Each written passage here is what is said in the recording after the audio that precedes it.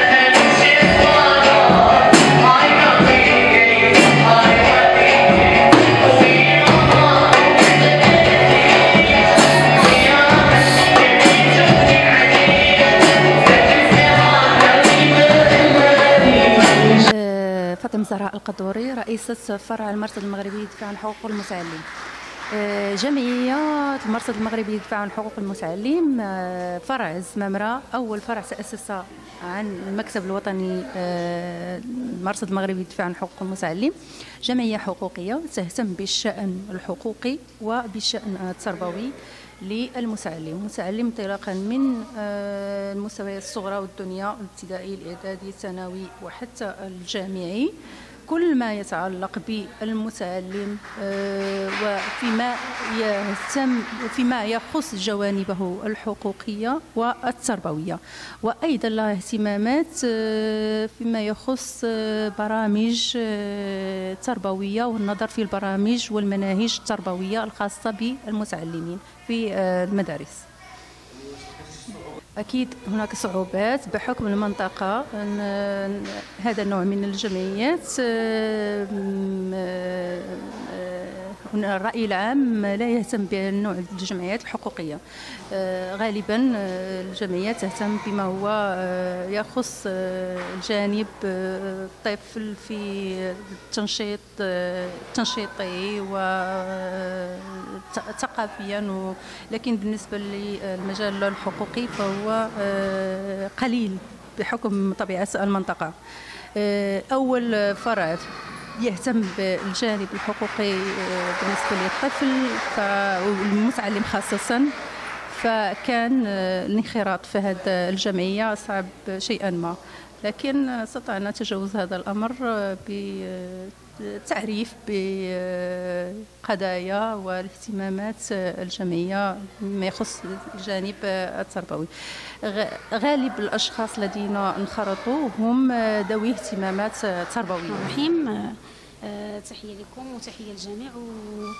وكنتمنى يكون هذا الملتقى إن شاء الله يكون ملتقى يعني خالد ويعني دائم ماشي غير يكون يعني مستمر إن شاء الله.